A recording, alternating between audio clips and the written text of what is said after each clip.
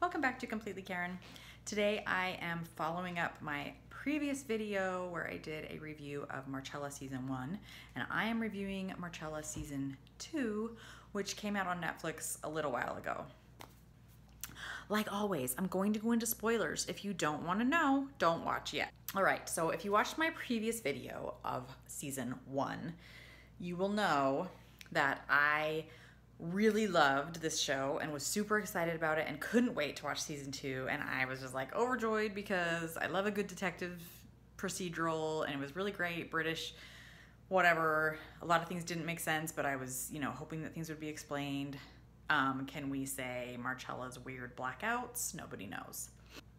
I was not very impressed with season two, I have to say. Yes, there were some like jaw dropping moments where things were revealed, like the serial killer.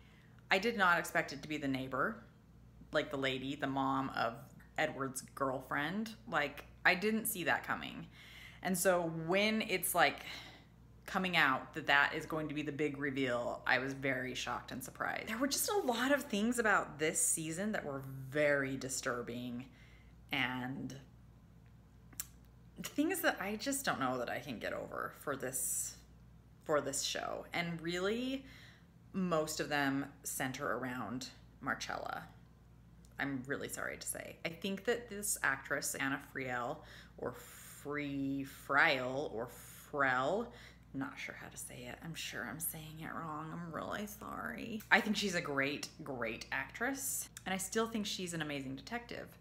But as a human being, she is Mm, she's a disgusting human being. Let's just say it. Let's just put it out there on the table. She's a disgusting human being who really struggles with personal relationships, boundaries, knowing how to treat people, and she literally thinks that she is better than everyone, but that quickly goes downhill in this this season as she realizes what a piece of trash human being she is to people and realizes that because of that, people do not want to be in her life, which is very sad.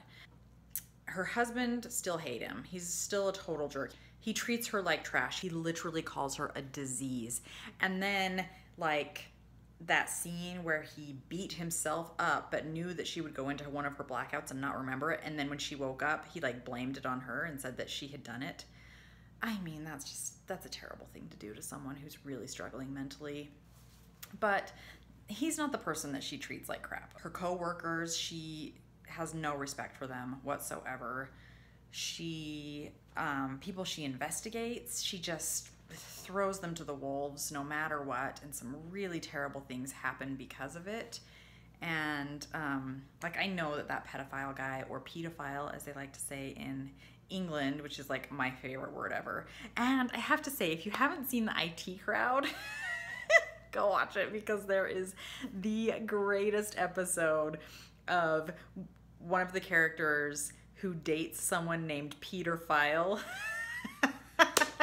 and then the whole like play on pedophile, pedophile watch it. It's hilarious. Pretty sure IT Crowd is still on Netflix if you haven't seen it yet. Anyway, let's get back to Marcella. Okay, so I mean the pedophile guy who she just he's a terrible person. He's gross. He's struggling and he pretends like he's better, but he's not.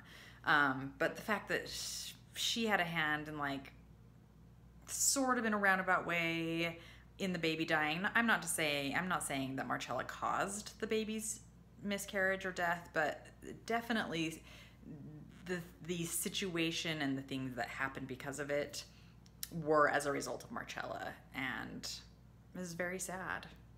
Although probably better off in the end. Anyway, I don't know. This season was very I had so many mixed feelings about it, you guys. Tell me what you thought. I need to know because I really loved season 1 and this season all the revelations of the flashbacks I just I I couldn't handle it. Like the very last episode, okay, when she goes to the doctor who's helping her with her flashbacks and she realizes that she basically killed her child because either she whether she was in postpartum depression, I don't know, or if she was just exhausted, which is a thing for new parents, especially moms, and you don't get any sleep and your baby is crying constantly and she obviously her her children were older so she was going back to being a mom after a really long break. And maybe she had kind of forgotten how to like handle that or to ask for help. Marcella is not the type of person that asks for help. She just doesn't. So for her to not ask somebody to come help her with her brand new baby who is constantly crying is not really a surprise. It's just really sad that she won't get over like that um, that ego to be able to ask somebody for help. And then the result was her basically smothering her baby to death which is literally the most heartbreaking thing ever. And it was so disturbing that because of that act and her like repressing that memory all of these other really terrible things happened in her life and and then she is tries to commit suicide. I don't even know what she was trying to do with trying to cut her face off or something. Like literally, I don't know what was happening. It was disturbing and weird. But then the ending just didn't make sense to me. Like I just feel like they should have ended it. Like it just should have been like, okay, you're done. You know, like you need mental help majorly bad, maybe go check yourself into a psych unit or something. But to have her just living on the streets and then nine days later, some dude that we don't know who he is, but clearly he works for some agency, first of all, knows where to find her. Why would he know? That's not even, she's like hiding out. Also, he's like, okay, so uh, looks like your DNA, which if you remember for season one, she got DNA from like a homeless person to use as her DNA on police file because she didn't want her DNA on police file.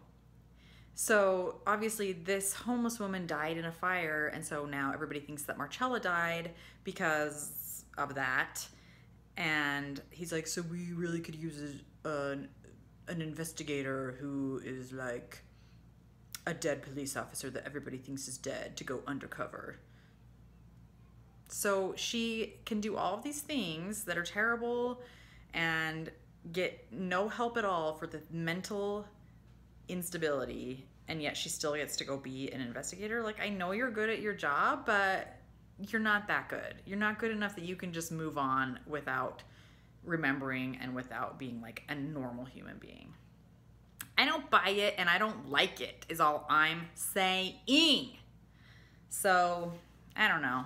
I just I don't know if I'll watch season three when it comes out. I just don't know if I can handle it. It was just really draining. I didn't really enjoy the resolution of like the case being solved. There were a lot of plot holes, and Marcella has just devolved into this character that I don't like anymore, and it's really sad. So anyway, that's my review of Marcella. Leave me a comment below and let me know what you thought of the season. I know I'm forgetting like a million things that I didn't even talk about in this in this review because it was eight episodes and there's a lot to say. But um, yeah, just overall, I wasn't I wasn't pleased. I'm like, what happened to that nurse girl? Did they ever ever even show what happened to her? She just disappeared. I don't know. They didn't explain that, and they didn't they didn't explain a lot of things. And I was like, okay, just end, why don't you, in this weird way? I don't get it. Whatever. Leave me a comment. Let me know what you guys thought. Because if you liked it, I'd like to know why. I, I really want to know, like, what redeeming qualities this season had. Because I don't see them. I don't think it's a thing and make sure and subscribe. Give me a thumbs up. You guys are amazing. Thank you so much for watching and for all of the comments and suggestions that you guys leave me in the comments. You're awesome. I love you guys so much. Thanks so much, and I will see you next time on Completely Karin. Bye!